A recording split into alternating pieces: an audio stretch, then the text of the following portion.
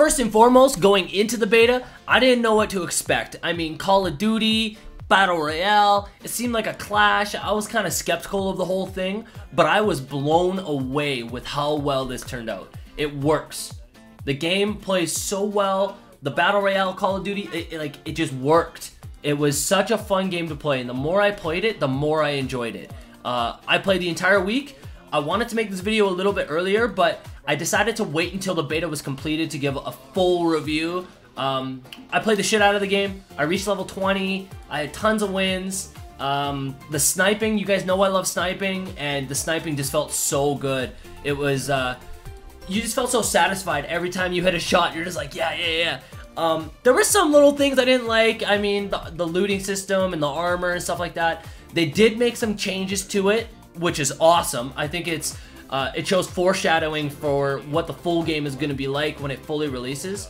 Just the fact that they were making changes and it was only a beta, that's a good sign. Like, that's a really good sign. That shows that Treyarch is listening and they, they're willing to make changes, you know, based on what the community is saying.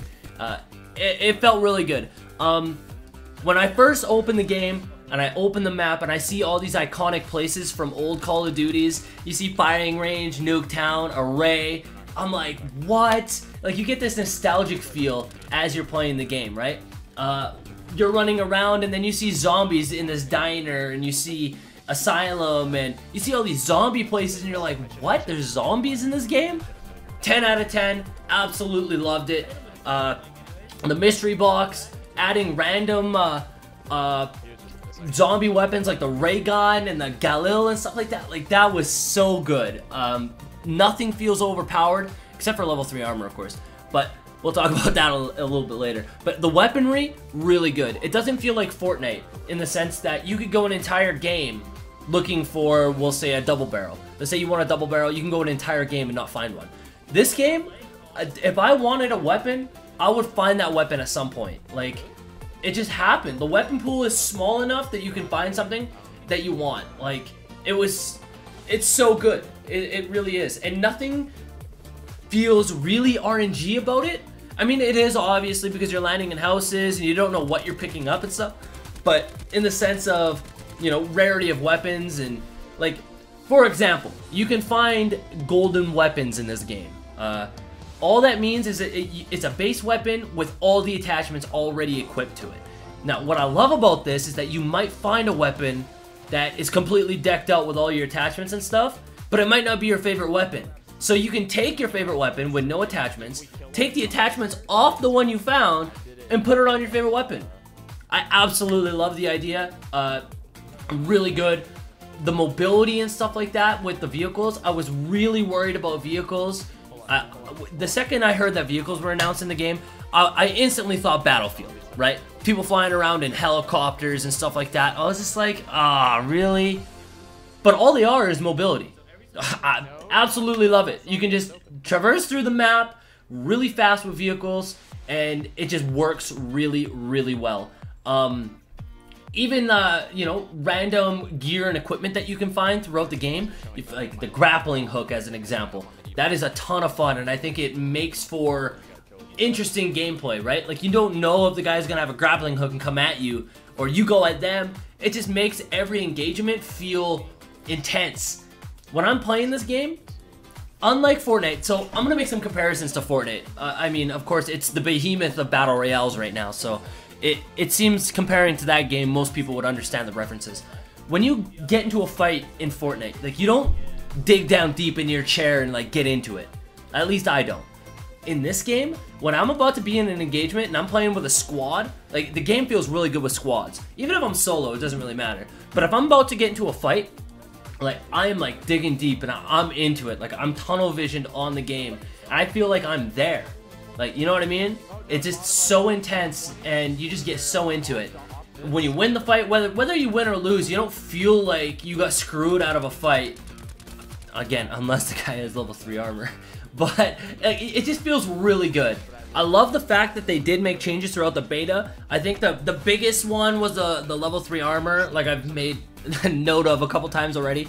Uh, it was super overpowered, and they did make changes to it, all, like throughout the beta, which is fantastic. And like I said before, that show just, just shows foreshadowing for what the full game is going to be like. Because, I mean, if they're making changes in the beta based on what the community is saying, that's what it's going to be like when the full game releases. And that just shows a lot about the developer, and it shows a lot about where they want to take the direction with this game. You know what I mean? Um, looting system, they made changes with that too. I think that they could still make some changes. I don't like that. Let you have, let's say you have two guns. When you open up your menu, you can only see one of them, and you got to physically change your gun to see the attachments of the second one. I would like a screen where you could see both your guns at the same time and be able to move stuff a little bit easier. But again, minor. It's very minor. But little things like that, I think, would improve the core gameplay of it.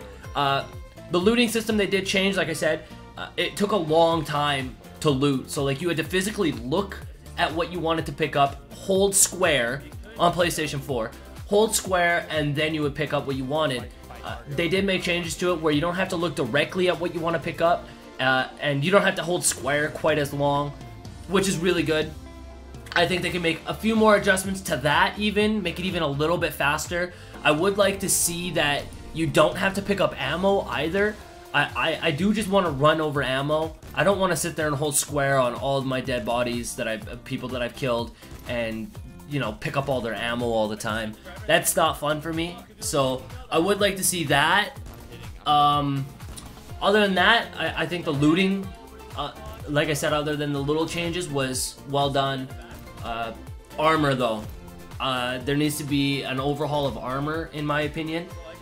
Armor 1 and 2, it's a good idea. I do like the fact that there is armor. Uh, maybe it's a little bit too strong. Level 3, like there's a big difference. If somebody has level 1 armor and somebody has level 3 armor, level 3 armor should win that fight 9 times out of 10. Like, they, they should win that fight.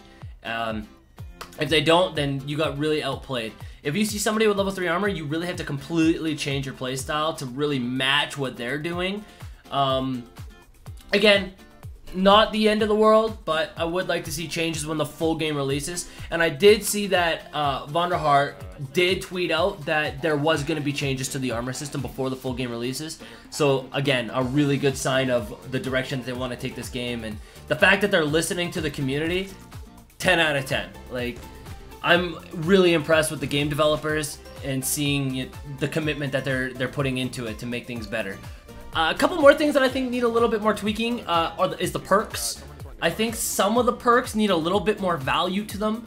Um, I find that the medic perk in particular, uh, I don't know if this is intentional or not, but let's say you're playing duos and your teammate goes down. If I'm sitting there reviving my teammate and the enemy is shooting him while he's down, you cannot kill him as long as I'm reviving him. So I don't know if that's a glitch or if that's intentional or not, but that seems kind of eh to me.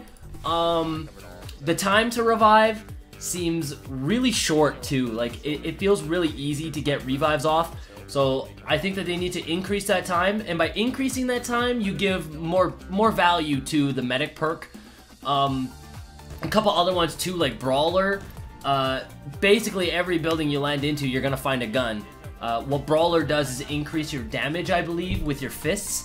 So, it's not often that you're gonna be punching somebody in this game, right? Like, you basically find a gun wherever you land, so... I don't see much value in that. Uh, Outlander 2, I believe Outlander, it's more, more damage dealt and less damage received while in the storm.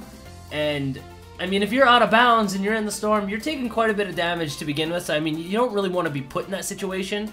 Uh, I feel like that perk might need some tweaking, but I mean, there are some really good ones. Skulker, increased speed while crouched, uh, dead silence, obviously.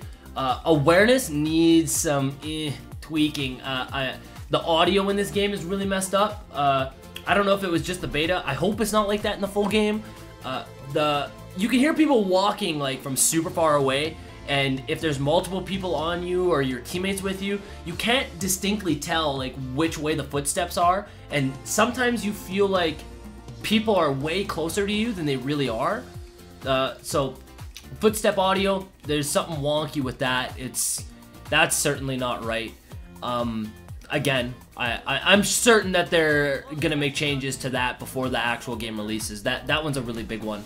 Um, I think they already mentioned, correct me if I'm wrong, but I'm pretty sure that they mentioned that they were going to decrease teammate footsteps in this game. I don't know if they did or not in the beta. I'm pretty sure that they did. I heard something about that, but I could be wrong with that one. Um, anyway, so the perk system, I like how it works though, how you, you only get the perk for a certain duration. It's not like you pop the perk and you have it for the entirety of the game. Like, so you have to use your perks uh, tactfully, you know what I mean? Like, you don't want to just pop them whenever you get them. You kind of want to get the most value out of them. So I like that. So I think making the perks a little bit more uh, stronger in the sense that if you're using a perk, it should really give you an advantage, right? Like you, you really want to get the most use out of it. I think right now the most useful ones is Skulker, Dead Silence, uh, Mobility is a good one.